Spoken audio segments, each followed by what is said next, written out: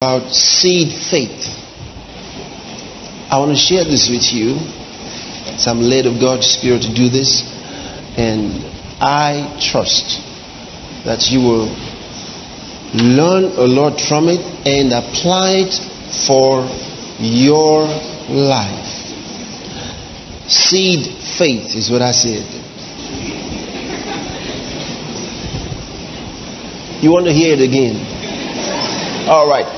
S. So you write S E E D.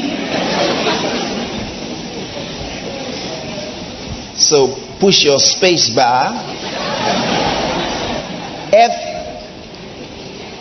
F for forward. A I T H H for high. You get it? All right, seed faith. Now, this is so important because in our lives, sometimes we have challenges. And many, many times people wonder why it is that what they thought God said to them didn't come to pass, or why their dreams have delayed. And sometimes it's as though everything is going to work out, and, and suddenly it just seems to fail. So, week after week, month after month, year after year, and they are waiting and hoping that things will turn out right. Sometimes, after several years of waiting, they give up. God has a better plan than that. So I want to share this with you. It's so important because it affects every area of your life. And whether or not you know it, you have been practicing the principle. It's either working for you or working against you. And it may have been working against you without you knowing it. And another good thing about it is hey, if you get to know this, whether you know somebody who can help you or you don't, whether you have a job or you don't, you have money or you don't, no matter what your position is in life, things can turn out wonderfully. If you didn't know somebody who could help you, by practicing this, you will become someone who will help others. Uh, this is wonderful.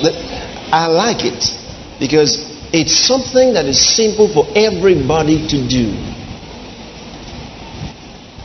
If you didn't have a job, by doing this, you would either have a job, you, in fact, you would have a job, and then you will make jobs for others.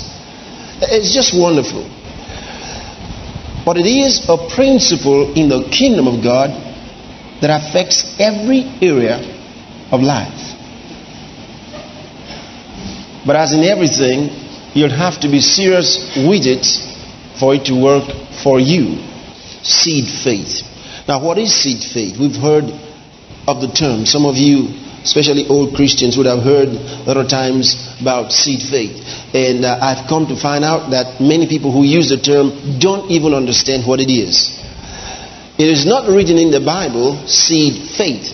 There's nothing like that. But it, it is a term that is given to a principle in the kingdom of God. Hallelujah. So when we're talking about seed faith, we mean the application of faith by the seed principle of life. That's the meaning of seed faith. Seed faith. it, it is the application of faith by the seed principle of life. Two things we need to understand about seed. One is that the seed contains the life giving principle of what it is the seed of. It contains the life giving principle. There is something about a seed that causes it to produce, and that is the principle of life that God has put in it. And that's what makes it a seed. Otherwise, it's no seed. The seed has in it the life giving principle. In a sense, it is the source. It is the source of the life of that thing for which it is seed. Secondly, a seed will only bring forth after its kind. A seed will only bring forth after its kind. So in your life, what you need is a seed. Oh, hallelujah. That's what you need. If you could only have the seed, you actually have it made. That's what you need. The seed. So, are you ready? I want to go straight to St. Matthew's Gospel. I already talked from Genesis in the afternoon. I tried to show them how that God actually began that principle. Because every major teaching, every major doctrine of the kingdom of God will find its roots its roots in the book of Genesis. All right? So I try to show from Genesis how that principle of life came to be. And so we come here to St. Mark's Gospel, and Jesus here relates the seed principle of life to everything in the kingdom of God. So that lets you know without this principle, you just can't move with God. You just can't walk with God. The principle is so important, it affects every area in the kingdom of God. St. Mark's Gospel. Did I ask you to open there? Or did I say something else? Matthew? I said Matthew? Because Matthew was open right in front of me. Said Mark, please. So, Mark is it? Chapter 4. I'm going to read a little long. Uh, we're going to read almost um, a little over um, 30 verses, maybe. Who knows? Something close to that. So, are you ready? Now, the reason I want to read this is because if you get to understand what Jesus said, you will already begin to catch the whole message. So, now don't just wait for me to finish reading, follow it. Now, I'm using King James. How many of you have King James translation? All right, good. New King James. There's a difference between New King James and King James. Okay. NIV. Okay. Living Bible. Amplified. Weymouth.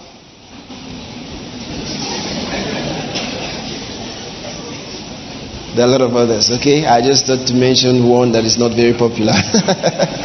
okay, good. So you try to follow this. I'm reading from verse 1. And he began again to teach by the seaside, and there was gathered unto him a great multitude, so that he entered into a ship and sat in, in the sea. And the whole multitude was by the sea on the land. Do you understand what's going on here? Oh boy. That little part you can catch understanding of it in St. Luke's Gospel. I, I think it is the um, coming from the fourth chapter, something like that. There's something here. No, fifth chapter it is. Fifth chapter. I just wanted to find something there for you. Um, you notice what we read in, in St. Mark's Gospel, chapter 4, verse 1. Let me read it again. And he began again to teach by the seaside, and there was, a, there was gathered unto him a great multitude, so that he entered into a ship and sat in the sea, and the whole multitude was by the sea on the land. And he taught them many things by parables. You know what I'm trying to show you there? He was actually sitting in Peter's ship on that day. There was where he met Peter, Simon Peter. Peter owned that ship. That was his uh, the, the very first encounter with Jesus Christ. All right, just just for the records, okay? Another day we'll talk about the importance of that. All right. Verse 2 And he taught them many things by parables and said unto them in his doctrine, Hearken. Behold, there went out a sower to sow. Hey, are you following this now? Jesus is teaching here. And it's just like on that day when he was sitting in that ship and teaching them, they were on the land, and he was teaching the multitude of people. Take it like Jesus is talking to you now. All right? Because you're hearing right now the same words that he spoke to them that day. And he wasn't speaking just into the thin air. He was speaking to them because he wanted the word of God to affect their lives and produce results. All right? So you get it. He says, Hearken, behold, there went out a sower to sow. And it came to pass, as he sowed, some fell by the wayside, and the fowls of the air came and devoured it up. And some fell on stony ground, where it had not much earth, and immediately it sprang up, because it had no depth of earth. But when the sun was up, it was scorched, and because it had no root, it withered away. And some fell among thorns, and the thorns grew up and choked it, and it yielded no fruit. And other fell on good ground, and did yield fruit that sprang up and increased and brought forth some thirty and some sixty and some a hundred. And he said unto them, He that hath ears to hear, let him hear. And when he was alone, they that were about him with the twelve asked of him the parable. And he said unto them, Unto you it is given to know the mystery of the kingdom of God. But unto them that are without, all these things are done in parables that seeing they may see and not perceive, and hearing they may hear and not understand, lest at any time they should be converted and their sins should be forgiven them. This is powerful. Oh boy, what a scripture we just read. What a scripture. Let me tell you about it. I explained it to you one time in church, I remember. This 12th verse. Listen again. He says here, let me read it from the 11th verse into the 12th verse. And he said unto them, Unto you it is given to know the mystery of the kingdom of God, but unto them that are without, outside, you understand? All these things are done in parables, that seeing they may see and not perceive, and hearing they may hear and not understand, lest at any time they should be converted and their sins should be forgiven them. Converted means here turned around, that the situation will be turned around. And then they are forgiven. What is the meaning of that scripture? He means every time you see the Word of God, catch a glimpse of it, every time you hear the Word of God and understand it, it will convert you. In other words, it will do something in your life, it will change your situation. So he said, it was hidden from them that they should not see it, or they should see and not perceive. They should hear and not understand. Because if you see it and perceive it, and you hear it and understand it, it will convert you. Oh, the Bible says the law of the Lord is perfect, converting the soul. He's not talking about conversion from Christianity or uh, Islamism to. That's not what he's talking about. He means it will affect your life. I mean, what's he converting them to? They were already in Judaism. What's he converting them to? Christianity hadn't started. Do you understand? So it wasn't a religious conversion he's talking about here. He's talking about changing their situation. If you hear it and understand it, if you see it and perceive it, then it'll do something without you trying to make it happen. Oh, that's powerful. Well, we go on. And, and then he says, and the sins should be forgiven. See, if a man were living in sin and he heard the word of God and understood it, his sins would be forgiven him. Because, see, he would turn to the Lord. And his errors, He will say, oh, Lord, I'm sorry. I shouldn't have done it this way. See, because the word will enlighten him and show him this is the wrong path, this is the right one. Oh, Lord, I've been in the wrong way. Forgive me. I'm sorry. I wouldn't do that. I, I come this way. See? It'll always work. Amen. 13th verse. And he said unto them, Know ye not this parable? And how then will you know all parables? The sower soweth. Ah, what is it? The word. The sower soweth the word. Which means the word is the seed. But we go on. What I want you to see here is how he relates seed and its principle of life to the kingdom of God. The emphasis is so strong that we just cannot misunderstand the importance. I mean, you have to hire somebody to make you misunderstand it. Do you understand what I'm talking about? You've got to pay somebody to turn your mind off this. Okay. The sower soweth the word, and these are they by the wayside where the word is sown, but when they have heard, Satan cometh immediately and taketh away the word that was sown in their hearts. And these are they likewise which are sown on stony ground, who when they have heard the word, immediately receive it with gladness, and have no root in themselves, and so endure but for a time. Afterward, when affliction or persecution ariseth for the word's sake, immediately they are offended. And these are they which are sown among thorns such as hear the word, and the cares of this world, and the deceitfulness of riches, and the loss of other things entering in, choke the word, and it becometh unfruitful. And these are they which are sown on good ground, such as hear the word, and receive it, and bring forth fruit, some thirtyfold, some sixty, and some a hundred. And he said unto them, Is a candle brought to be put under a bushel, or under a bed, and not to be set on a candlestick? Or lampstand. For there is nothing hid which shall not be manifested, neither was anything kept secret, but that it should come abroad. If any man have ears to hear, let him hear. And he said unto them, Take heed what ye hear. With what measure ye meet, it shall be measured to you.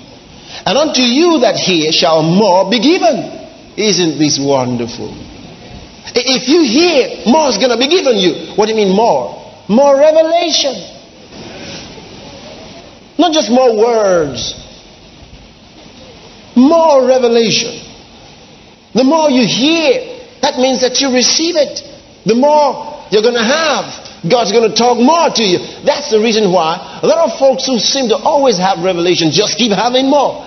And those who always say, well, God never talks to me, God never talks to them. Oh, hallelujah. Does God talk to you? How can you say no? Who could say no? You're hearing God now. You're hearing Him now. Boy, this is good. Where's the next verse? Verse 25.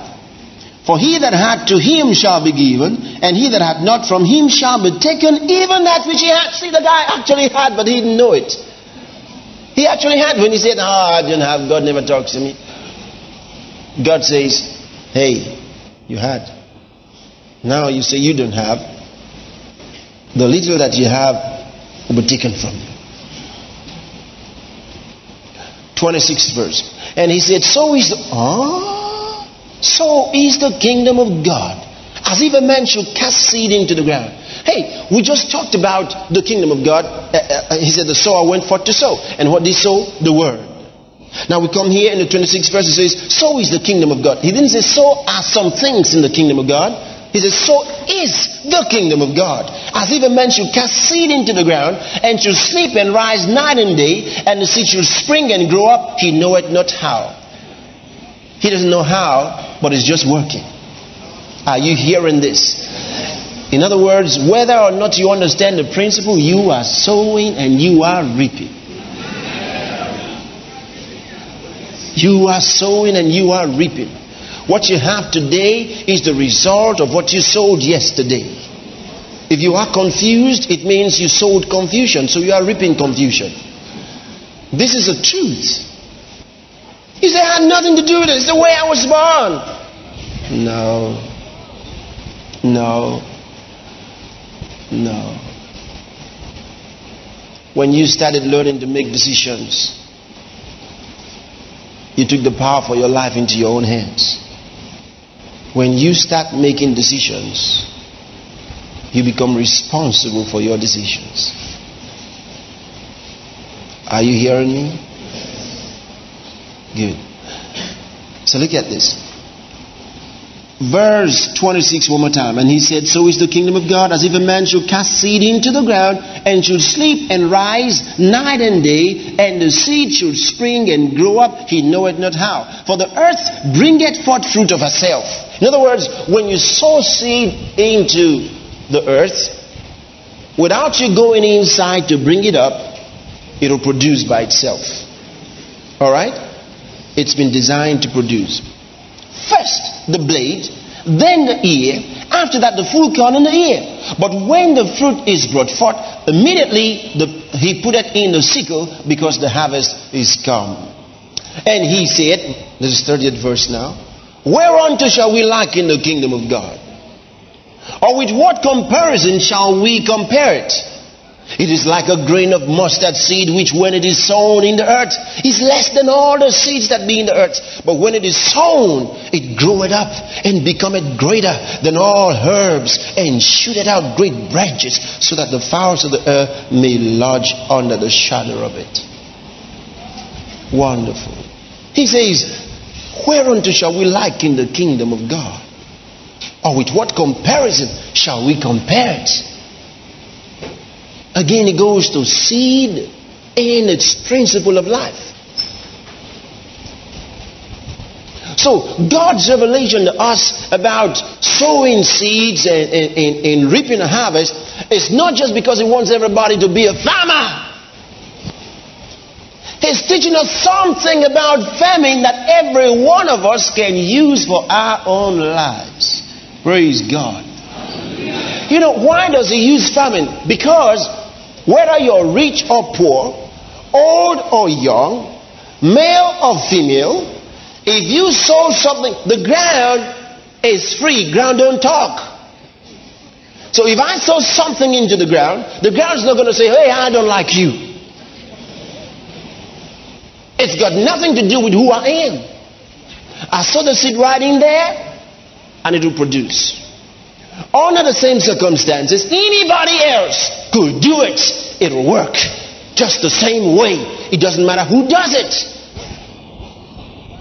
So God uses that to let us know we all have opportunities on the earth. We all do.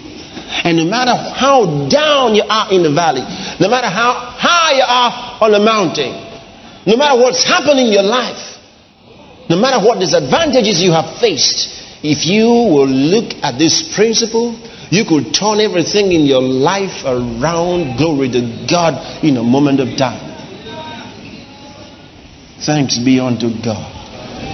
Hallelujah. So, where are you? Are you going to do something about your life? You want to see big things happen in your life? Do you want to see big things happen in your life? Oh, get excited about the word and see this. All right. Now you've understood Jesus made it clear that the seed principle of life is what the kingdom of God operates on. Are we agreed? All right. Now, we'll look at the Bible and see a few more things. The man who made this message popular was Oral Roberts. He's the one who, who made it popular. He, he preached it so many, many years. And because God taught him many things about seed faith, seed faith, he, he, he came to understand it. So, possibly he called it seed faith. Possibly, because there's no term like that in the Bible, but we know what he's talking about. You understand? So he may have coined that term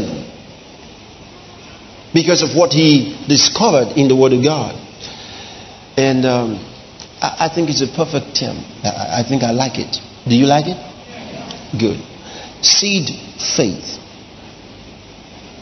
Faith that we apply that works by the seed principle of life. Hallelujah.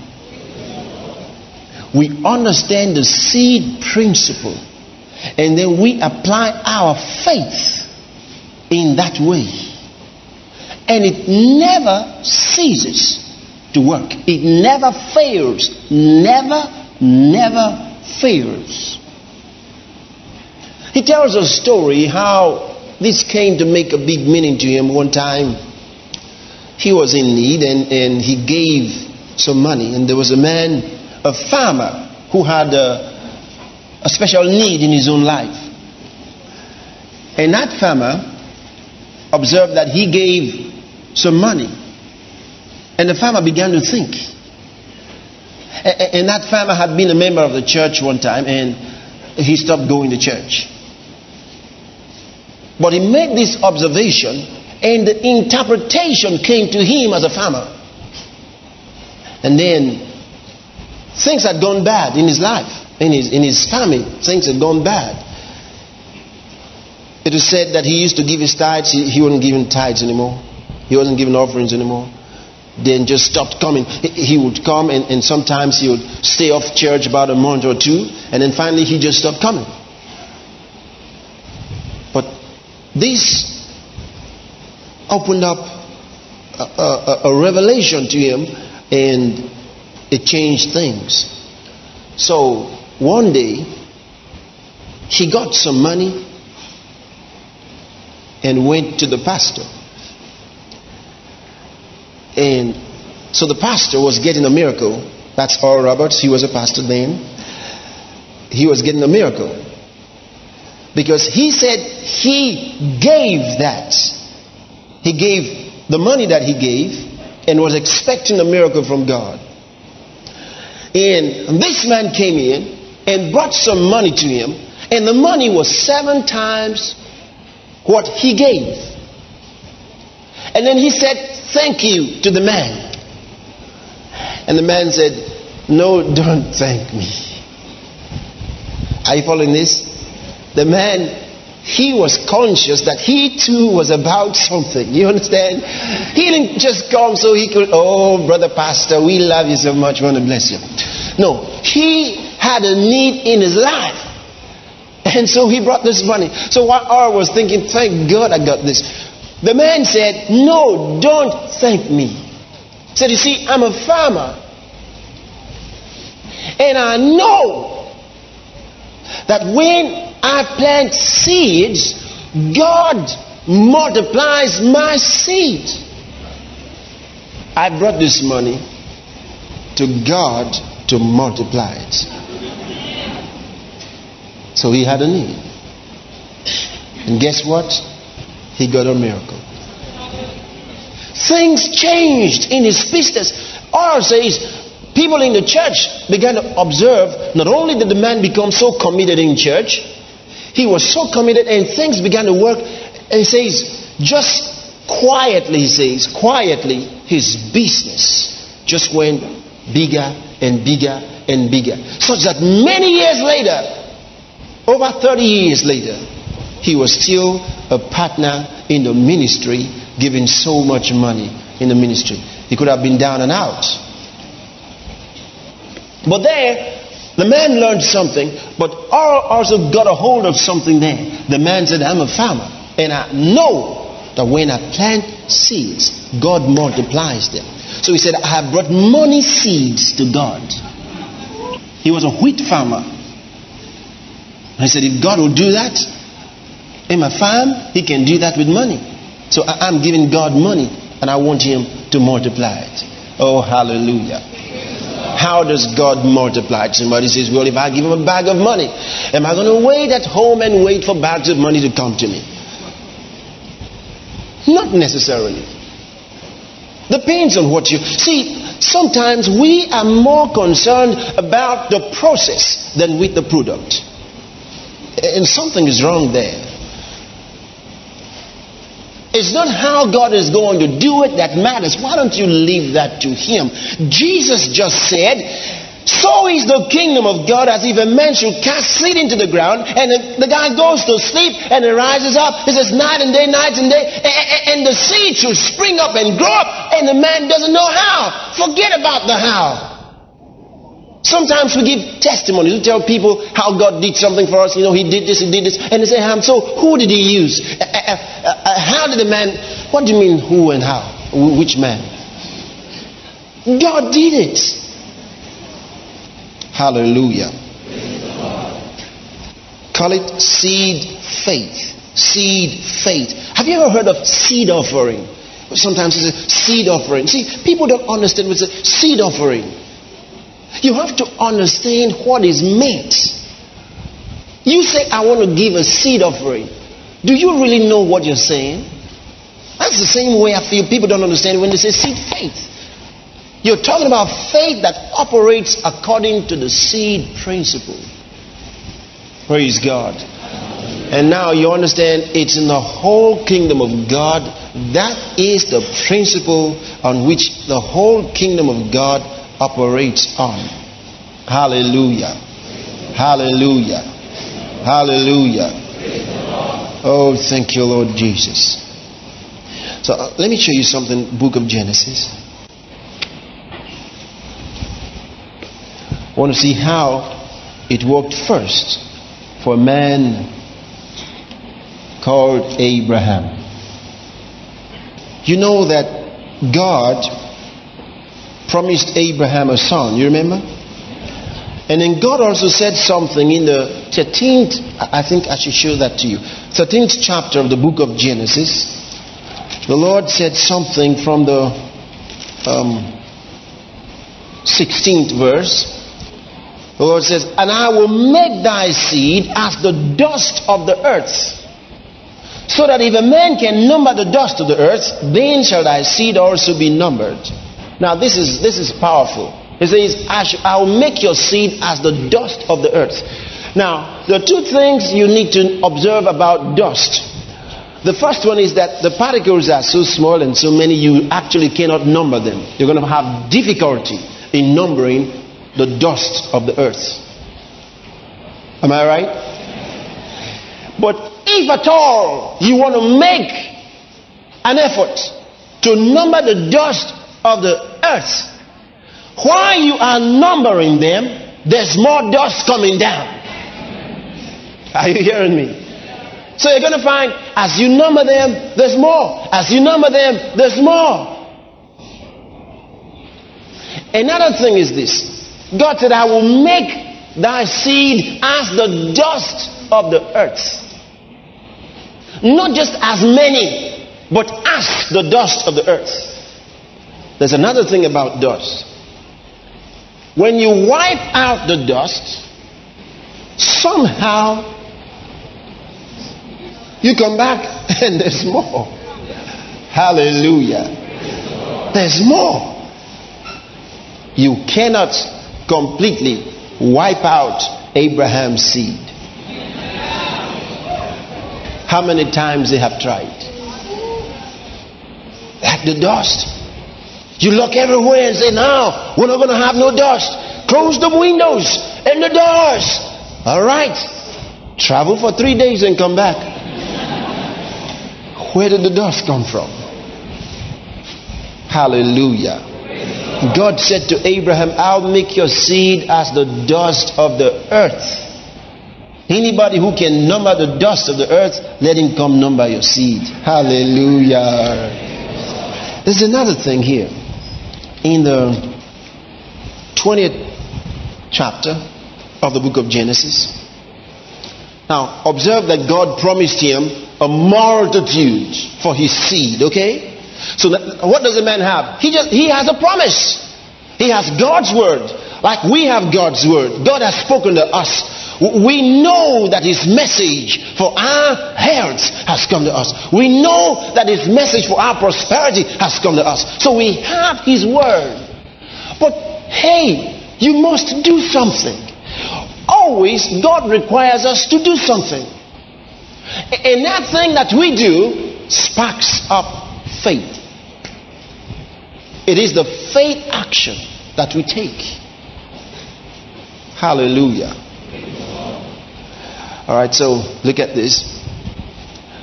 God said to him, I'm going to bless you. And up till this time, he didn't have a child, he didn't have a child, he didn't have, and God is saying, You will have a multitude. How am I going to have more? Don't even have one. Then God had to operate with the seed principle. Now he's beginning to show this man something. Watch it. In the 20th chapter, Genesis, he found himself in the in the home of King Abimelech. And uh, his wife is so pretty. His, his wife is, his, is over uh, uh, uh 60, well over 60, but she's so pretty. And the king wants her. Isn't it wonderful? I found out, I found out men of faith have the most beautiful wives. True, true. By the wayside, I have one. Yeah, yeah. See, by the wayside. Now look at this, this, this. Relax. Come on now. Hello. Now look at this man, Abraham. The wife at old age is so attractive, the king wants her. Then check out Isaac. At old age also, the king wanted her.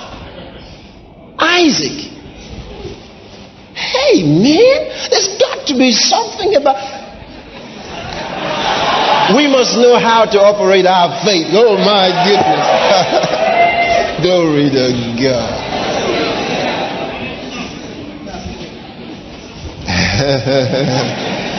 All right. So we go and uh, the man, Abimelech, took uh, Sarah. He wanted Sarah to now be his wife. Would you turn to verse um, 15? I tell you this God spoke to Abimelech and said, Restore that man his wife. And the man said, Lord, he didn't tell me she was his wife. He said, She's his sister. That's why I took her. Then God said, Yeah, I know. Otherwise, I would have killed you. now you go and give him his wife. And the man came to Abraham and said, Why did you do this to me? All right. So, in verse 15, and Abimelech said, Behold, my land is before thee. Dwell where it pleaseth thee. And unto Sarah he said, Behold, I have given thy brother. Very special brother, you know. Yeah, but truly, see, Abraham said, Well, sir, I, I was afraid. That's why I said she's my sister. But I didn't lie. For she actually is my sister. She, she's the daughter of my father, but not the daughter of my mother. And that was true. Praise God. And, and, um, Unto Sarah, verse 16, he said, Behold, I have given thy brother a thousand pieces of silver. Boy, that's a lot of money. Behold, he is to thee a covering of the eyes on all that are with thee, and with all other. Thus she was reproved. Now, look at this. So Abraham prayed unto God, and God healed Abimelech and his wife and his maidservants, and they bare children. For the Lord had fast closed up all the wombs of the house of Abimelech because of Sarah, Abraham's wife. I mean, he just closed up everybody's womb right away.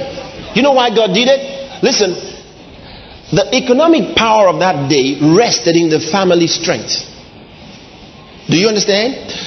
Um, there was so much, there was so much um, uh, distrust and people cheated people. So the kings of that day only trusted their own children to take care of the kingdom. So they put princes everywhere. Over these, the cabinet was all the king's children. Do you understand? So they had to have a lot of children. So having children in that day was so important to the kings.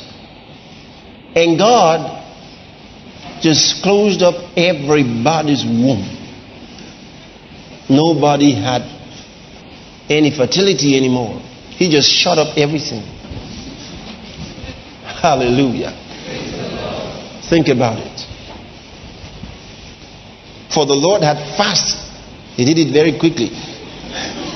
Closed up all the wombs of the house of Abimelech.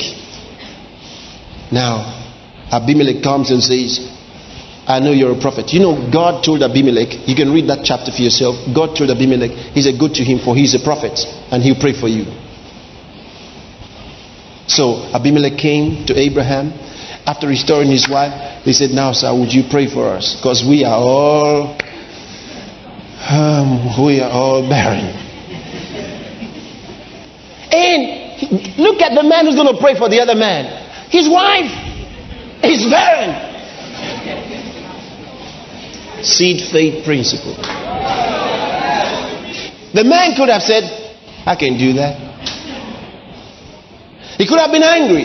He could have done anything. He could have refused. He had the options. But no, not Abraham. He was not afraid. He was not intimidated. Somebody said, How can I be telling people about prosperity when I look at my own life? I don't see anything. I cannot preach. And I'm asking God that He should make the Word of God uh, uh, real in my life. Then I can have, then I'll be able to talk to others. You are not going to talk to nobody until you start. Understand it. God didn't. He said, Hey, I want my own life to be an example. If God says leap, leap. Don't say, How can I? Have you forgotten I was born like this? If God says leap, what do you do? Leap. No questions, just leap. If he says tell them, tell them. The man's wife is barren. He's an old man, doesn't have a child. Everybody born in his house is a servant. And God says, now pray for this man and his house so that they can have children. Lord, we don't even have. If you had no child, would you have the confidence to pray for others so they, they, they, can have children? If you wanted to have a child, would you go to a minister that doesn't have to say, please pray for me? I'm talking about TV audience now. You would be wrong to say, I will not go because he doesn't have. You'll be wrong. You might just be the key to his having. See it? And so God said, Abimelech, hey, go there and, and, and wait. And then Abraham prayed for them. Watch what happens. You know, the Bible wasn't written in chapters and verses. Okay, we're in chapter 20. So the next verse in, uh, will be the first verse of chapter 21. Agreed? Watch. What do you get? And the Lord. How can you start a chapter with the word and? That means it's connected to the last verse of chapter 20. Have you noticed? And you might as well say, So the Lord visited Sarah as he had said, and the Lord did unto Sarah as he had spoken, for Sarah conceived. Why? Because Abraham sowed the seed. Somebody else's life. You say, I want God to prosper my business. I want God to do. Hey, are you are you instrumental to somebody else's business starting? What have you done? Every time somebody mentions his need, you remember your own. Oh God. Become effective in another man's vision and see what happens in your own home. Right away, as the man prayed for them, miracles happen in his house. The principle of seed faith. You sow it, you reap it. Here is the first one. We get another one. So God didn't only say He was going to have a son, He said, You're going to have seed. You're going to have a multitude. Okay, now He got one. He has one son. Isaac. His name is laughter. Sarah said, God has caused me to laugh. And everybody who hears about me will laugh with me. Oh, hallelujah. Dear Jesus. I pray that many more will laugh. Let them have Isaac in their job. Isaac, hallelujah, in their homes. Isaac. Let God cause them to laugh. Yeah. She said, God has caused me to laugh. How wonderful it is when God causes you to laugh. She looked at herself. She said, How old am I? My husband is 100 years old. She said, How will it be heard that Sarah gave birth? Sarah. And she laughed and laughed at herself and laughed and laughed. They said, What's the name of your son? She laughed. She said, What else? Laughter. Isaac. God has caused me to laugh. Thank you, Lord Jesus. Oh, hallelujah. Say it in your business, say it in your home. God has caused me to laugh. And everybody who hears about me will laugh with me. Amen. Hallelujah. So we get something here. This is one son he got now, and God knows he will never have that promise come to pass if he doesn't operate with the seed faith principle. What is the seed faith principle? He said in Genesis 8 chapter and the 22nd verse. Um, before I, I explain this to you, let me give you a background here. Look up. You remember that in, in the book of Genesis, chapter number 3, the Bible tells us that God spoke to Adam and said to him, You are free to eat of any tree in the garden, but of the tree that is in the midst of the garden, the tree of the knowledge of good and evil, don't eat of it. For the day that you eat of it, you will surely die. Don't eat of it. And the man said, Yes, sir. One day, can we get the story? Chapter 3, Genesis. Chapter 2, chapter 2 it is. Eh, in, eh, in chapter 2, he told him about it. Eh, and um, let's find this here, find this here, find this here, find this here, find this here. I want to read from verse 19. And out of the ground the Lord God formed every beast of the field and every fowl of the air and brought them unto Adam to see what he would call them. And whatsoever Adam called every living creature, that was the name thereof. And Adam gave names to all cattle and to the fowl of the air and to every beast of the field. But for Adam there was not found a help meet for him. There was not found a suitable help for him. Nobody to help him. Nobody to help him. Help, help, help. And the Lord God caused Adam, uh, caused a deep sleep to fall upon Adam. And he slept. He what? Slept. And he took one of his ribs and closed up the flesh instead thereof. And the rib which the Lord God had taken from man made he a woman and brought her unto the man. And Adam said, This is now bone of my bones and flesh of my flesh. She shall be called woman because she was taken out of man. Therefore shall a man leave his father and his mother. It doesn't say, therefore shall a woman leave her father and her mother. But therefore shall a man leave his father and his mother and shall cleave unto his wife and they shall be one flesh. I could say much about that, but let's go on.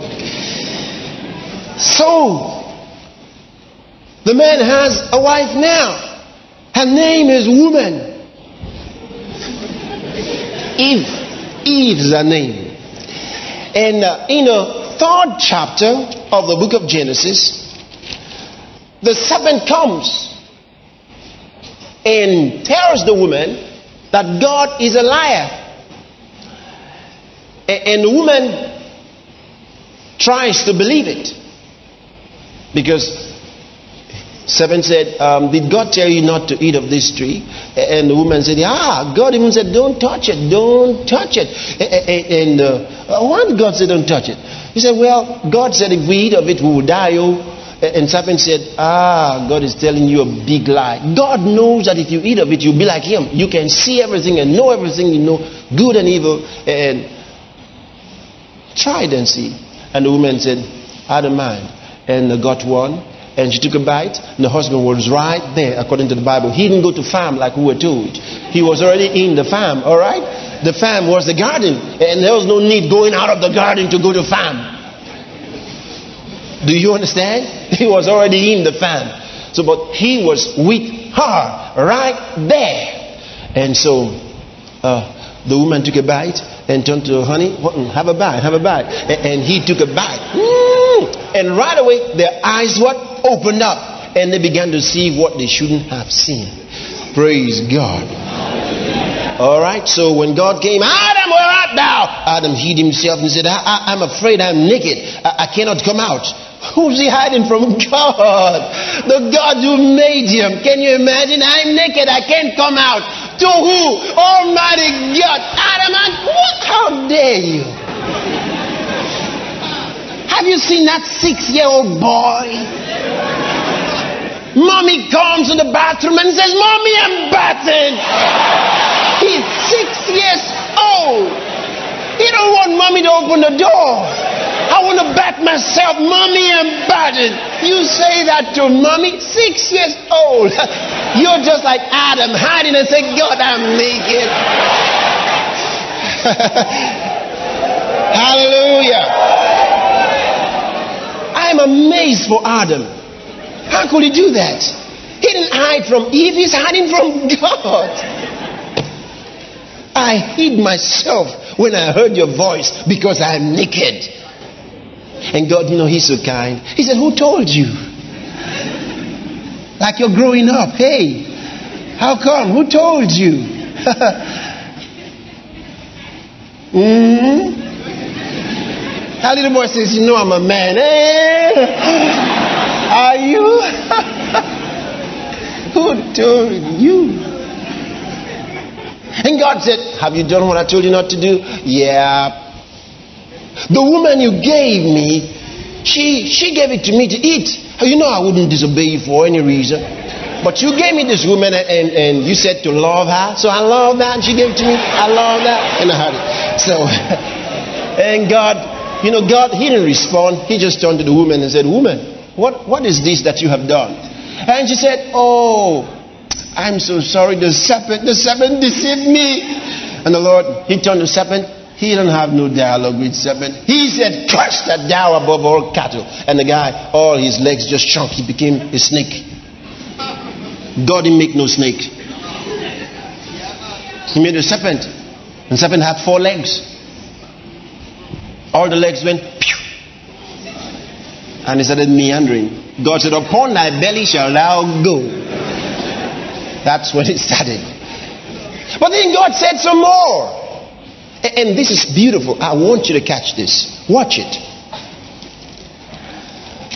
Hmm. From verse 14, I guess. Yep. Mm-mm-mm-mm-mm. 15 will be all right. And I will put enmity. God's talking. No, no. 14 is all right. And the Lord God said unto the serpent, Because thou hast done this, thou art cursed above all cattle, and above every beast of the field. Upon thy belly shall thou go, and dust shall thou eat all the days of thy life. And I will put enmity between thee and the woman, and between thy seed and her seed. Uh, by the way, I, I can talk about this another time. You know, the devil hates women. He hates women more than he hates men. You say, ah. ah. You give birth to a bouncing baby boy. Hey! You have a bouncing baby girl. Hey! That's what happens. Except the guy already has five boys, six boys. Then he says, ah, ah. Then he says, okay, you now, one girl, just one. Who wants a girl? Watch it now. Are you hearing what I'm telling you? Why is it so? Who wants a girl? And yet, all of us were born by somebody who was a girl. Isn't it true? Thank you. Hallelujah. Oh, the devil hates women. It came from here. Hallelujah. Okay. Oh, glory to God. So I, just mentioned to you how that the devil hates women, and it's because of the word that God spoke. I, I'll talk to you about it another day. Now that's very, very important because it'll help you to know why some things happen the way they do. All right? Now that doesn't mean that he makes friends with men. All right? Devil hates he hates men, okay? But um, he has a special hatred for women. See, women pray a lot. Women pray for children more than men do. A man can say, well, you know, his son is already 30, 40, and, and he may not pray for him until he comes and says, okay, my blessing is with you. But that woman, every day that her eyes will see, they'll hit the floor, the knees will hit the floor and she'll pray for her son anywhere in the world. And the devil finds it difficult to destroy her children because that woman won't let them go. Hallelujah. Not only that, so many other things. The husband doesn't pray for the wife as much as the wife prays for the husband. Again, the devil finds it difficult to destroy the husband because that woman wouldn't keep quiet.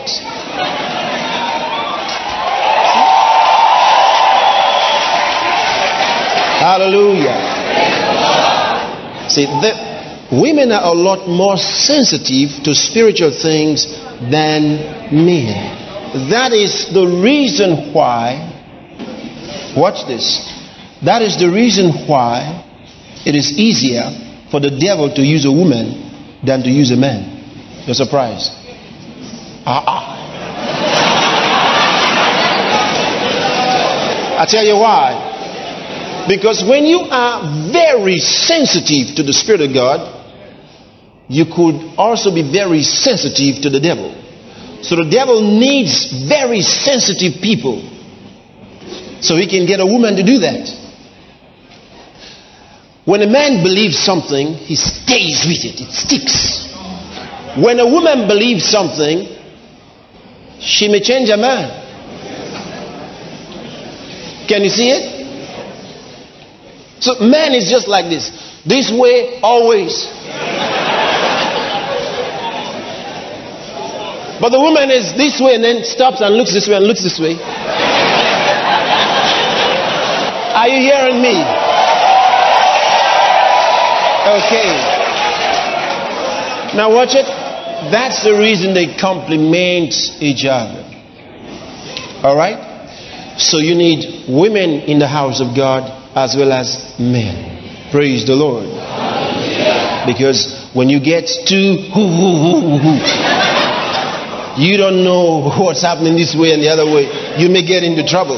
But when you're always like this and like this, you, you can you can move forward the way you should. So we need this way and this way and this way and, and everything together. All right? Praise God. Hallelujah. All right, now here's the point I wanted to make and uh, it's here from verse 15 we're reading down and i will put enmity between thee and the woman notice and between thy seed and her seed he didn't say between thee and human beings he says between the talk, talking to the devil he said i'll put enmity between you and the woman and between her seed and your seed thou shalt bruise no uh, uh, it shall bruise thy head, and thou shalt bruise his heel. And unto the woman he said, I will greatly multiply thy sorrow and thy conception. In sorrow thou shalt bring forth children. That, that's a curse on her body. All right? That's a curse on her body. That's where labor came from. She want to give birth, and she there's three days labor, four days labor. Somebody said I've been there for one week. Another one said, Well, I just went in and I just came out. Pum. Uh, thanks be unto God. But no matter how, God um, here's where this problem came from. But we're going somewhere. Are you ready? Good. And then it says, And thy desire shall be to thy husband, and he shall rule over thee. See, marriage was not intended to be that way. You were intended to be the help to your husband. And he was not to rule over you as a woman. It wasn't supposed to be, I said you are not going out. the boss is here.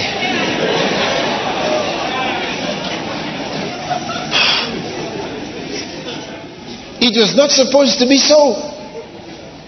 He shall rule over thee came when she let the devil come into her life. But watch this. This is a beautiful thing I want to show you here in the 17th verse. And unto Adam he said, Because thou hast hearkened unto the voice of thy wife, and hast eaten of the tree of which I commanded thee, saying, Thou shalt not eat of it, cursed is the ground for thy sake. God couldn't curse Adam.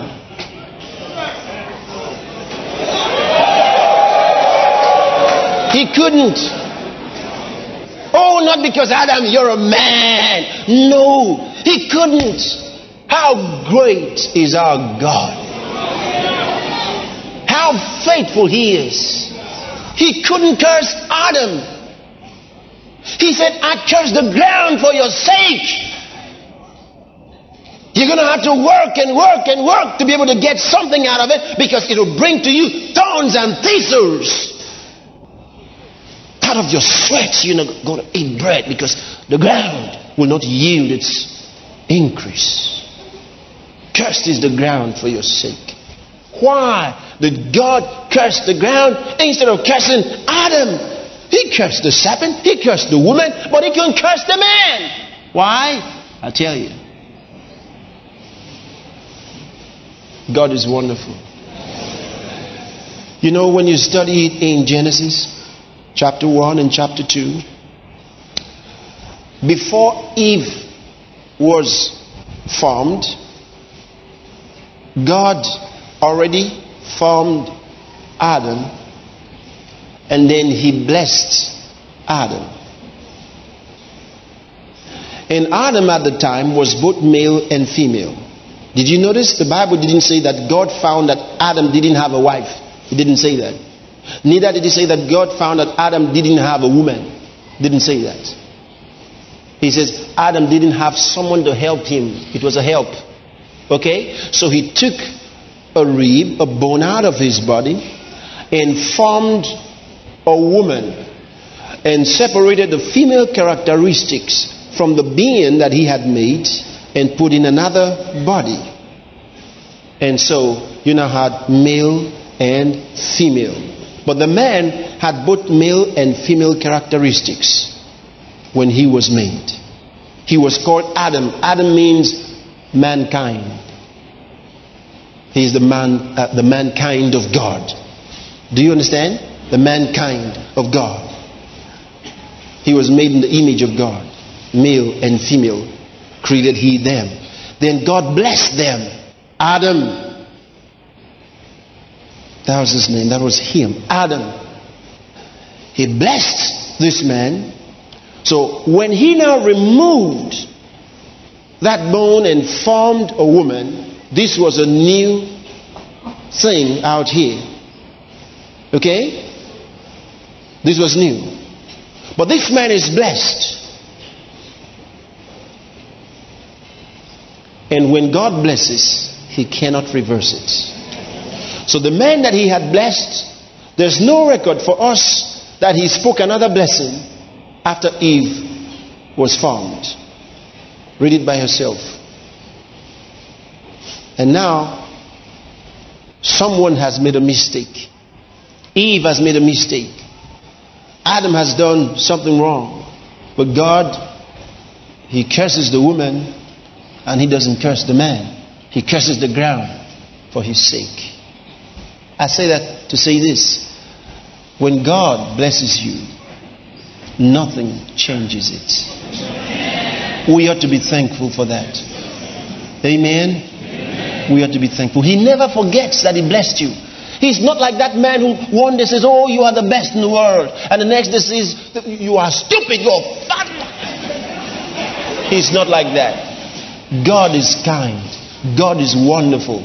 He never forgets that He blessed you. Because He has blessed you, the rest of your life you work in blessing.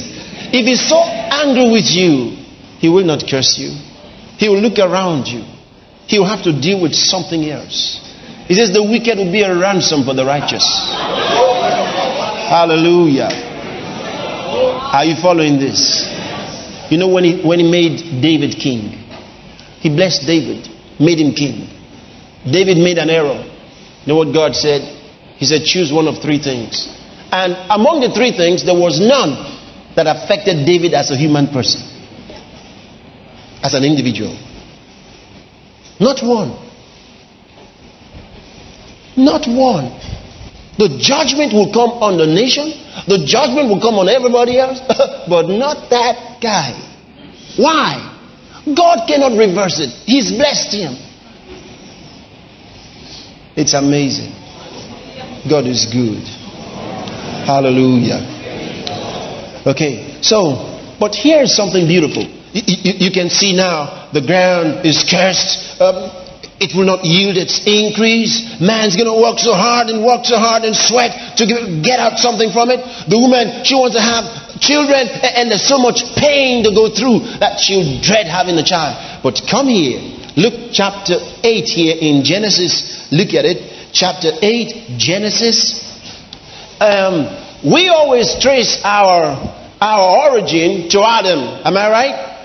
We ought to start doing something new we should study more. You remember that after Adam and, and his children and so many more, it came to a time that God said there was so much sin in the world. And he said it repented God that he made man. And so he decided he would destroy everybody. He was going to send a flood. It will rain for many, many weeks. And then all creation would perish. But there was only one man and his family that did righteously, and that was Noah. And God said, All right, I'm going to deliver Noah. And Noah and his family became the only family on the face of the earth after the flood. Everyone else died except Noah and his household. Do you remember? So we all came from Noah. Hallelujah. Now, we need to go back and see did God say anything? Did God tell Noah anything?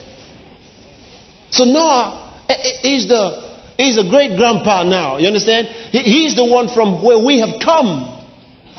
So, did God say anything to Noah? Most of all that people know about Noah is the waters of Noah. That there was a flood one day. If you say, Did you ever hear of Noah? You're going to say, Yeah, I heard of him. So, what did you hear about Noah? Well, there was a flood one day and Noah was saved in his house. That's about all we know. But there's a lot more about Noah than that. Hallelujah. I tell you, this is beautiful. Let's go to chapter 8, Genesis. The floods have come to a stop. And uh, Noah's come out of the ark, he and his family. And now he builds an altar unto God and he worships the Lord who hath delivered him so greatly. 20th verse. Are you there now? 8 chapter 20th verse, book of Genesis. And Noah builded an altar unto the Lord and took of every clean beast and of every clean fowl and offered burnt offerings on the altar. And the Lord smelled a sweet savour, and the Lord said in his heart, I will not again curse the ground any more for man's sake. Woo! Isn't this wonderful? We say, oh, hardship in the world because God cast the ground for Adam's sake. We don't know. He changed it. He changed it. In the days of Noah, he changed it. It's been long, long ways back. And God said, hey, no more curse for the ground. So it ought to yield its increase now to its best potential. No wonder Isaac sowed in the land and received a hundredfold. No wonder. God's changed it. says, For the imagination of man's heart is evil from his youth, neither will I again smite any more every living thing as I have done, while the earth remaineth. Watch this now, 22nd verse. While the earth remaineth, seed time and harvest, and cold and heat, and summer and winter, and day and night shall not cease. Praise God. Seed time and harvest, cold and heat, summer and winter, day and night. Hallelujah.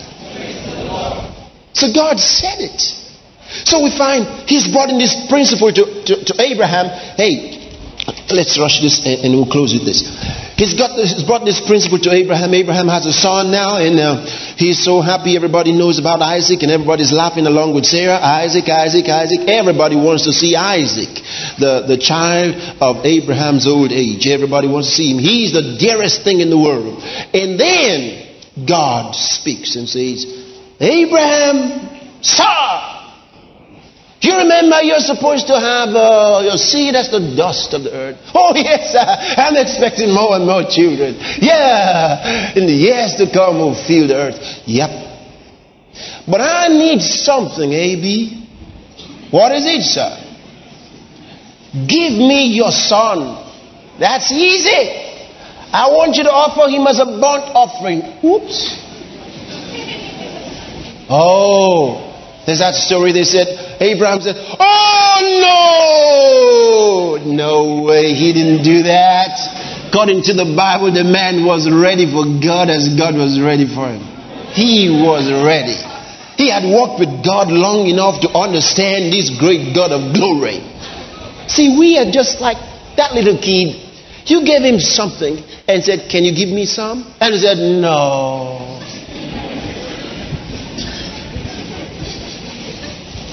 But some others, some other children, they want to give you everything they have. Have you observed it? Yes. Sure. So, God said, Abraham, give me your son, your only son. That son that you love. God is wonderful. He emphasized it. He said, That son that you love, offer him to me as a burnt offering on one of the mountains of Moriah. And Abraham, what did he do? He took the guy and went there. God gave him to me. God gave him to me when I was as good as dead. God gave him to me when I didn't think I was going to have a child no more. God gave him to me when nobody expected me to have one. Took the boy and went. It's good to think the right thoughts about God. Took the guy there. Look at you. You just got some salary the other day, and, and, and God said, Give your tithe. He said, I'm owing this, I'm owing this, I'm owing this. I'm going to pay all my debts first, and then after that, I'm going to. And God just looking at you. What a mistake! God said, Abraham, your only son is what I want. What's he doing? Seed principle. The guy, he has to sow that seed. Remember what Jesus said? Except a corn of wheat fall into the ground and die, it abideth alone. It abideth alone. If the seed doesn't go into the ground and die, it'll remain alone. He says, but if it dies, it brings forth much fruit. So, Abraham, give me your son. And Abraham goes and offers the son. He puts him on the, on the wood, ties him, you know, and gets ready for the fight. He wants to cut him. And then God speaks because he can see the man is serious. And God don't want no human sacrifices. Otherwise, everybody's going to kill his son one day. Abraham, Abraham, stop! And the guy, he looks up and God says, Hey, I got a ram for you there. Use the ram instead of your son. Now I know. Hallelujah. He said, Now I know that you trust me. And the guy went, got the ram instead of his son. Now I want us to read this. Are you ready? Chapter 22, Genesis. Rush hour now, rush hour. And I am reading from verse 11. And the angel of the Lord called unto him out of heaven and said, Abraham, Abraham. And he said, Here am I. And he said, Lay not thine hand upon the lad, neither do thou anything unto him. For now I know that thou fearest God seeing thou hast not withheld thy son, thine only son, from me. And Abraham lifted up his eyes and looked, and behold, behind him a ram caught in a thicket by his horns. And Abraham went and took the ram and offered him up for a burnt offering in the stead of his son. And Abraham called the name of that place Jehovah Jireh. As it is said to this day, in the mount of the Lord it shall be seen. And the angel of the Lord called unto Abraham out of heaven the second time and said, By myself have I sworn, saith the Lord, for because thou hast done this thing and hast not withheld thy son, thine only son, that in blessing I will bless thee, and in multiplying I will multiply thy seed as the stars of the heaven and as the sand which is upon the seashore, and thy seed shall possess the gate of his enemies. And in thy seed shall all the nations of the earth be blessed because thou hast obeyed my voice. Come on, say amen. amen. This is wonderful. He planted his seed, seed in, Gen, in, in Hebrews, in Hebrews chapter 11. You can see it there. Run there now. Hebrews 11. And I'm reading uh, from the 17th verse. Hebrews 11 chapter. By faith, Abraham, when he was tried, offered up Isaac, and he that had received the promises, that's the same Abraham, offered up his only begotten son, of whom it was said that in Isaac shall thy seed be called, accounting that God was able to raise him up even from the dead. Are you hearing this? And whence also he received him in a figure. What do you mean? He's saying that when God told a man to offer his son, that Isaac, uh, that Abraham went there, accounting, taking it, that God was able to raise him even from the dead. So he went, he was serious. And the Bible says, when he offered up his son there, ready to kill him, he had, as far as he was concerned, counted it done. And God said, yeah. So when God said, take the boy back home, as far as Almighty God was concerned, that boy had been raised from the dead for he was as good as dead. Are you following this? Now, Abraham is qualified for a harvest. He has planted his son. Are you qualified for a harvest in your life?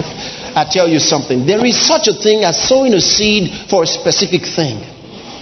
But you see, if you sow seeds of help to people, you're going to get a lot of help, okay? If you sow seeds, like you come to the house of God and you clean all them benches and chairs or whatever, will clean anything, you're going to have a lot of help. You're going to find people helping you to clean things. You see, they'll, do all this for you. And then some of you, you help to cook. You help people to cook, you know.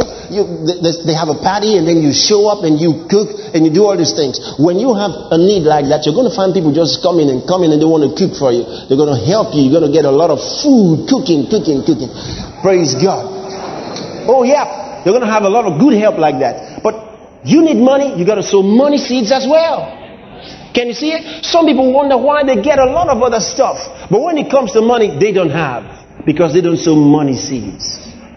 Sometimes people wonder, they get some money, all right, but there are a lot of things that just don't come to them because they don't give. See, you're going to learn to sow seeds in your life. Your life, a farmer doesn't just sow, if you live your life on that farm, if you know that your life is dependent on that farm, you will sow continually. Now we call it faith, uh, seed faith, because when we sow the seed, we reap a harvest. And so when we release our faith, we base our faith on the principle of the seed by releasing a seed. If it's a money seed, if it's a cotton seed, if it's a housing seed, I told you one time, I gave someone money. I paid for someone's transportation.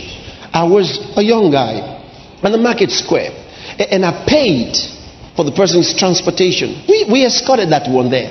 When I did, the Spirit of God spoke to me right there, and I told the folks who were with me. He said, You have just paid for your car. That day, that's many years ago. I wasn't expecting, oh, I was a student, I, I wasn't expecting anything. But when I did, he told me that. And I told him, I said, you know what? I will never have to struggle to get a car. And I never did. All that way, right from school, I never had to suffer for it. Not once. Why? Because God loves me so much, He just wants me to have. No, He loves every one of us. But He says there's a principle in the kingdom. You're going to have to work with that principle. It, it, it works. You need it. You need it. You need it. Use it in your life. You don't have a job, you need money, whatever it is. Find the opportunity. Find it, find it, find it, find it, find it, and put money in there. We're reaching people, reaching people, blessing people through TV, through several programs, the tapes, the books, and so on and so forth. We are ministering to people. And what's happening to these people? Their lives are changing. You can get involved like that. And you're sowing seeds, not just, not just giving without knowing what you're doing. You're calling it money seeds. They are money seeds. You're like a farmer. See, many people didn't have an understanding of farming business. I used to follow my grandfather to the farm. Every time we went on a holiday home, grandpa, there was only one thing he knew to do, and that was to go to the farm. See, he was a minister. But see, in his spare time, he liked to go to the farm. And we went to the farm and he roasted some just just being around grandpa was something nice but he gave us something eh, eh, i noticed that he loved to farm and i got to understand that farming was something important now when i got to school i studied some agriculture and there i learned some more about farming but i didn't know it was so important in the kingdom of god now i see it praise god now i see it there are people here, you have never seen a farm in your life. Yeah, because you moved from where you are to Lagos Island, and then from there back home, and you go through the express. How, where are you ever going to see a farm? My daughter said to me one day, she said, I've only seen a moth, I've never seen a butterfly. I said, You have to see one soon. Why she see a moth? In the night, there's lights, and then these moths, they come in. In the daytime, she goes through this place or that place and you don't see them butterflies. So she said, I've never seen a butterfly. Some of you have never seen a live chicken. You've only seen the meat. You've been eating the meat, meat. You've never seen a live chicken. Am I right? There's some of you here. You've never seen it live. Some have never seen a goat. Listen to me. This is true. This is true. Some have never seen a goat. If you go to a village, you're going to find goats crossing the street. And not many here. That goat may not get back home. Are you still here? I just said that to say this. Because some things don't seem to be real to us, we find it difficult to imagine them. You sow and you reap. You sow and you reap. Were you not once a young guy learning to maybe cook, playing with other mates, just playing, and, and putting a, a, a, a tin, uh, an empty tin, maybe a, a, a margarine tin, and you set a little fire on that, and you put some sand inside with some water, and you tell the other guy, I'm cooking rice for you. do you ever do that? We did that and we had some little garden just all by ourselves and we put some corn seeds there. One, two, three, four. And every day we came to check it whether it was growing. and the thing sprouted. Just to see that. A little tomato garden, just you know, one, one meter by one meter, and we have tomatoes there. Just to see it grow. Do you understand? And the ground didn't say, You are too small, I will not cause anything to grow for you. Thanks be unto God. No matter where you're at, now go back home and you think. You don't have enough money? Relax. Think, what else can I do? I want to get myself into big business with God. Big business with God. That's what I'm going to do. I, am going to be sowing regularly. It's because my life depends on it. I have a sowing and reaping, I have a sowing and reaping. The Bible says, Isaiah chapter 55 and the 10th verse, he tells us that the ground makes it bud, it makes it grow bud, so that that's when the rain falls on the ground. All right? So, so that, here's the line I want to pick for you it'll give seed to the sower and bread to the eater. I thought it should say bread to the eater and seed to the sower. Nobody says seed to the sower and bread to the eater, which means you get your seeds out first. The seed for sowing must come out first. When you get your harvest, take out your seed for sowing. Otherwise, huh, you are not going to have a harvest next season. This money you just got is going to finish. See, if we were back in the village right now, I'll talk to you about your corn and your yams and all that stuff. You understand? Because you relate with that. But you can relate more with money than with corn and, and, and yams and so on. So that's the reason I'm talking about money more. Because that's what you relate with on, a, on an everyday level. Praise God. But you have to plant your money seeds. He says, He gives seed to the sower and bread to the eater. So take out your seed for sowing first. If you take bad seed, you're going to sow bad seed and when you sow bad seed, how many of you know you're not going to have a healthy crop? It'll not be healthy. Thin, yellowish leaves will come out. And all their mates will be growing and yours shaky. And then very small fruits. Small. You wonder, why is my guava so small? Why is this mango so small? The other guy comes and says, I've never seen such big apples all my life. And yours is so dry and small. You take a bite and there's not enough water in it. Ooh, dry. Why? It came from the sick seed you put down there. You're going to do something about your life. God told me to share these things with you. And, we're just beginning, so we're going to be learning more from the Bible and seeing these things um, applied in our lives. Hallelujah. Hallelujah. You want a job? Start praying for others who don't have jobs. Start praying for them. Stop being concerned about yourself. Get out of the rut and start praying for others. Start blessing others. Start declaring good things for others. Don't say, oh God, everybody that doesn't have job.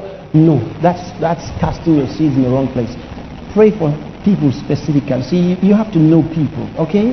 Don't live on your own only. Think about others. Get involved with others. Be in a cell group, in a PCL. There are people you must know there. Maybe somebody got who, who needs a job. Someone's just lost his job, maybe, or they, they lost him, depending on how he was how he was performing. Praise God. Hallelujah. Are you ready?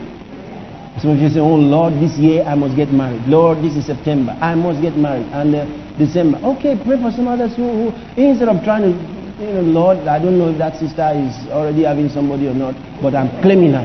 Don't claim her. Pray that she would have somebody. Pray she would have somebody. It doesn't have to be you. Pray for her. Glory to God. That she'll have somebody. Eh, when you pray for her, who knows? You may just answer her prayer. Maybe you, who knows? And, and, and sister, you pray for brother. Don't try to come to brother. I've not been seeing you.